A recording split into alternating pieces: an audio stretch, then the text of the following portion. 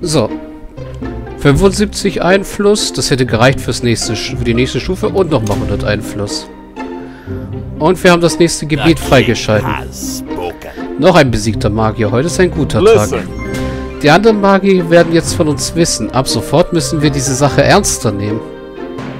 Haben wir die nicht schon ernst genommen?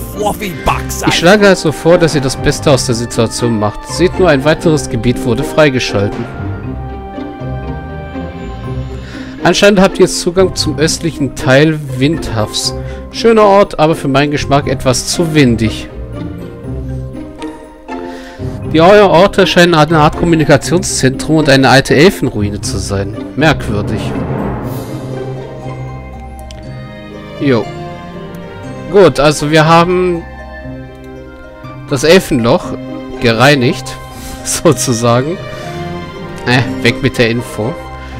Und haben dadurch den Zwergen jetzt endgültig den Weg hier geebnet. Also ja, die Gnome verstecken sich immer noch in den Wäldern. Aber die Zwerge sind jetzt... Die standen vorher schon hier. Er ist neu, der Jungzwerg ist neu. Und der Bergarbeiterzwerg hier ist auch neu. Ja, so viel hat sich geändert im Südmittland. Und damit haben wir auch Mittland abgeschlossen. Gut. Gucken wir erstmal. Wir haben den grünen Kristall. Wenn ihr den grünen Kristall habt, solltet ihr euch nach Ostwindhaf begeben. Und wir haben genug Einfluss jo, für den genialen Prinzen. Das gibt uns einen Forschungsbonus. Und mit 250 mehr Einfluss können wir die Erleuchtung freischalten. Und dann werden wir ja sehen, ob wir noch mehr Punkte kriegen, um Fertigung freizuschalten, weil ich bin mir echt nicht mehr sicher, ob man nur 5 Punkte kriegen kann und dann Max-Level ist. Oder ob man danach noch mehr Punkte kriegt, um die an, um noch mehr Boni freizuschalten. Wäre nett, aber ich bin mir nicht sicher. Okay, gucken wir uns jetzt mal Ostwindhall an. Windhaf. Das Kommunikationszentrum, die Elfenruine. Aufgrund der Ebenheit dieses Geländes fingen die starken Meereswinde, dieses Meer hier, über das gesamte Windhaf. Das Land besteht hauptsächlich aus hohem Gras, Geysiren und flachen Ebenen. Das felsige Gelände steht für Zwerge keine Hindernisse dar, die während des großen Königreichs über und unter der Erde große Städte bauten. Jo. Wir haben hier einmal das Kommunikationszentrum. Das ist die neue Gefahrenzone mit dem grünen Magier, den wir jetzt vorhin auch in der Cutscene noch gesehen haben, wie er mit den anderen beiden Magiern also wahrscheinlich dem Magier hier und dem Magier hier kommuniziert hat. Und hier oben ist halt die Hauptzitadelle. Er bewacht den orangenen Kristall. Den brauchen wir wahrscheinlich für das Gebiet hier. Und den gelben dann für das Gebiet hier. Sieht jedenfalls gelb aus. Also Gefahrenzone. Die ehemalige Zwergenhauptstadt von Windhaf. Die zwergischen Kundschafter haben berichtet, dass dieses Gebiet höchstwahrscheinlich in ein Kommunikationszentrum für die Magier verwandelt wurde. Der Besitzer dieses Gebäudes erhält einen enormen strategischen Vorteil. Mhm. Und dann hätten wir noch die Elfenruine vom Ostwindhaf. Ist ziemlich überwuchert, so wie es aussieht. Die Elfenruine. Dies war zur Gründungszeit des großen Königreichs eine Elfenstadt und zugleich die größte Siedlung, die die Elfen außerhalb Midlands errichteten. Ihre Einzigartigkeit beruhte auf den verwendeten Baustoffen, denn statt Holz wurden hier nur Mineralien verwendet. Die Stadt erstreckte sich hoch über dem Boden und tief darunter. Nachdem Zwerge und Elfen eine Bündnis geschlossen hatten, wurden die oberirdischen Bauten zerstört. Warum auch immer. Doch die Gerüchte über die großen Reichtümer, die darunter immer noch verborgen liegen sollen, sind nie verstummt. Jo, ich würde sagen, wir beginnen mit der Elfenruine. Dort gibt es mal wieder eine neue Waffe und ein neues Zepter für den Prinzen. Nachdem wir ja hier im Nordpass die letzte neuen Waffen für ihn gefunden haben. Auch wenn er nicht wirklich damit kämpft, sondern immer wegrennt. Dafür müssten wir wirklich den Kriegerprinzen freischalten. Aber das will ich nicht wirklich, den Prinzen in den Kampf schicken. Gut, also gehen wir die Elfenruine. So, ich hoffe, es sind alle da. Wir pausieren mal kurz. Hey, wir kriegen sogar mal einen besseren Thron. Cool. Zwergenhort ist wie immer Stufe 1. Pause, habe ich gesagt. Ähm, ja. Erstmal natürlich Forschungsschwerpunkt für bessere Forschung. Stop what you're doing and listen to me. Vater, wir sind an dem von euch erwähnten Ort eingetroffen. By the beard. Hervorragend. Dies war noch eine der uns bekannten großen Elfensiedlungen. Hear me out. So weit nördlich? Ich dachte, sie hätten nur in Midland gelebt. Listen up. Äh, das tut nichts zur Sache. Wie auch immer, mir sind die... Mir sind Gerüchte über eine große Elfenfestung irgendwo dort unten zu Ohren gekommen. Unter der Stop Erde. Eine unterirdische Elfenfestung? Jawohl, in der Tat. Wir konnten es zwar nie finden, aber euch wird das sicherlich gelingen. Stellt euch nur all die Schätze vor. Now, what's going on? Puh, ich will gar nicht wissen, was ihr getrunken habt. Gut, da wäre der Weg nach oben wieder mit ein paar Wölfen und sehr wenig Land diesmal. Und einem kleinen Goldschub für uns. Ja, das Zeug zu verkaufen bringt absolut nichts. Das Einzige, was wirklich was gebracht hat, war die Feuerstelle jetzt gerade.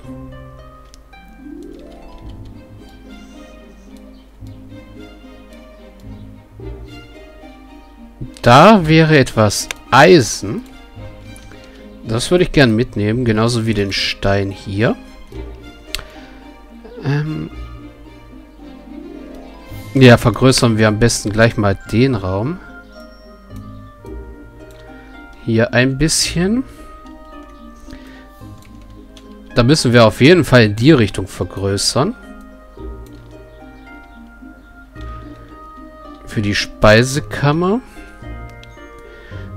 das Schlafzimmer etwas vergrößern. Wie viele Bergarbeiterzwerge haben wir? Zwei, wie immer. Und auch zwei Krieger-Zwerge. Ja, den Raum müssen wir definitiv ziemlich viel größer machen. Nein, ich will das nicht abbrechen. So. Hm, den Thronsaal können wir nach hinten etwas vergrößern. Und dann könnten wir theoretisch hier eine Abzweigung machen und hier noch einen Raum hinbauen, wo dann die Forscher arbeiten. Ja, hört sich alles ganz gut an. Ich muss nur aufpassen, dass ich hier nirgendwo in...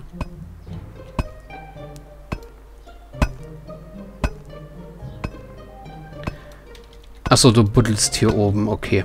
Dass ich irgendwo in einen Raum reinbuddel, so wie die hier drüben oder die hier oben.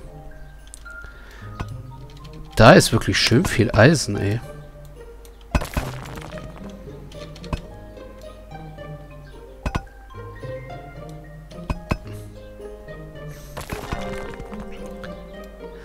So, währenddessen werfen wir mal einen Blick auf die Quests. Wettlauf zum Schatz.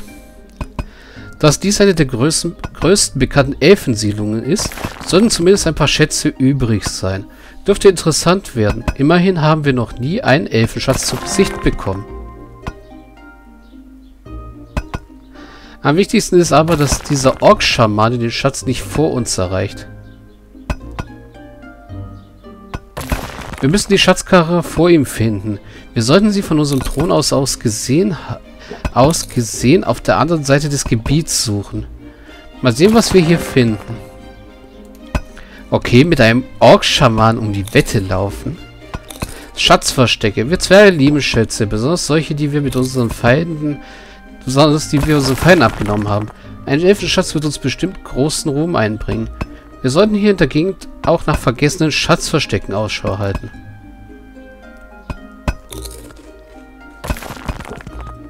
Okay, Puppe für Übungspuppe. 15 Übungspuppen gebaut, das kriegen wir hin. Soldaten werden immer benötigt und besser ausgebildete Soldaten gewinnen mehr Schlachten. Wir sollten dafür sorgen, dass unsere Soldaten jederzeit Übungsmöglichkeiten haben. Lass uns zu diesem Zweck ein paar Übungspuppen bauen. 15 sollten reichen, oder? Grab dort, wo es nicht geht. 300 und dicke Böcke freigeschätzt. Äh, warten wir kurz. Kleine Zwerglein, graben macht euch Spaß, nicht wahr? Oh, come on.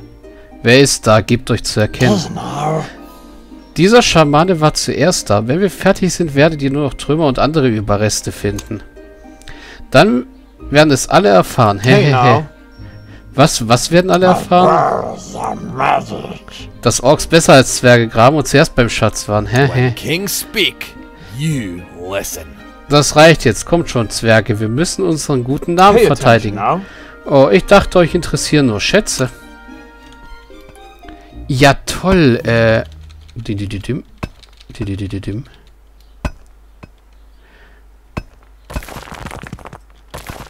Woher soll ich jetzt eigentlich wissen, wie weit die Goblin, äh, der Ork-Schamane ist? Mit seinem Raum.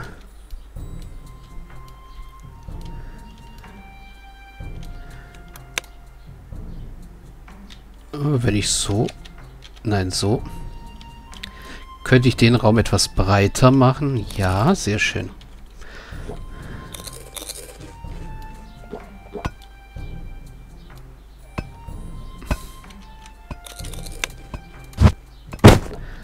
So, Thronsaal nach hier.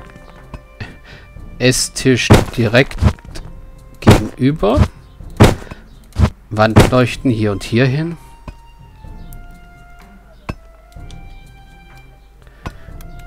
Und dann kann ich schon mal hier anfangen, den Boden etwas auszukleiden.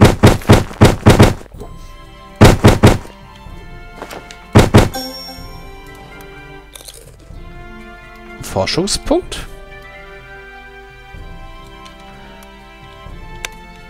Ach so, weil der Prinz einfach... Cool.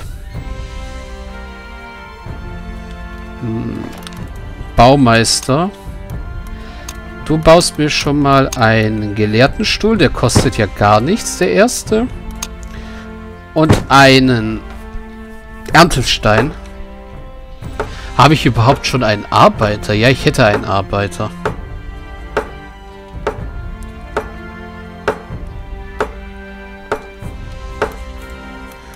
So, dass die Jungs gleich anfangen zu trainieren, da wir eh Übungspuppen bauen sollen, gibt es mal gleich zwei Übungspuppen für meine beiden Soldaten.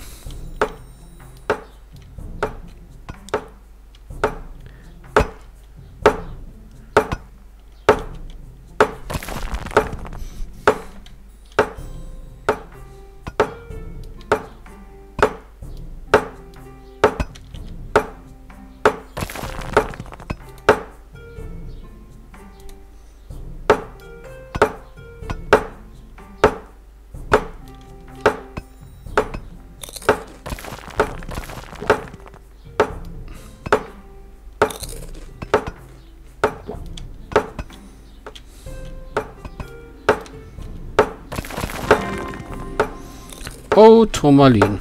Turmalin ist immer gut.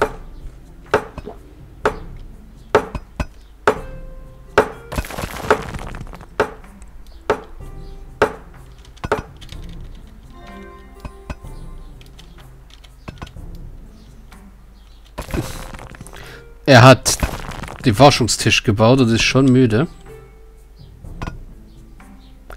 Ja, guck mal, wir haben schon dank des Prinzen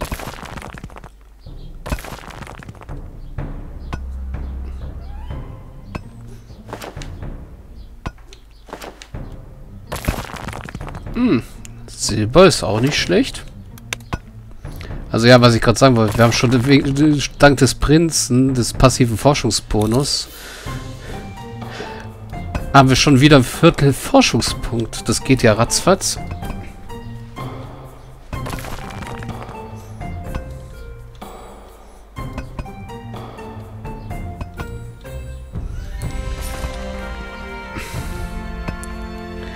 Genau, du gehst bitte wieder an die Arbeit. Hier ist auch noch Silber.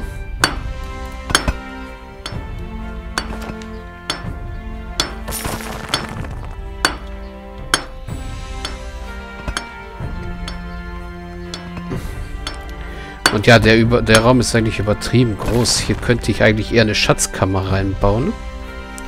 Oder ich baue die Schatzkammer hier nachher hier drüben. So um die Ecke, weiter nach hinten.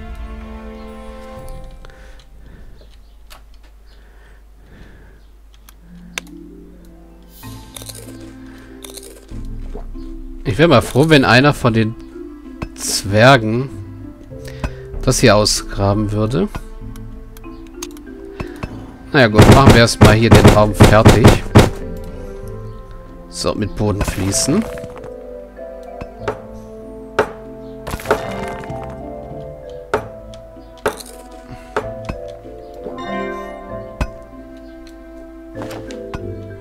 Sag mir jetzt bitte nicht, dass das alles... Ah ja, da ist noch ein bisschen Ding... Äh... Mutter Erde.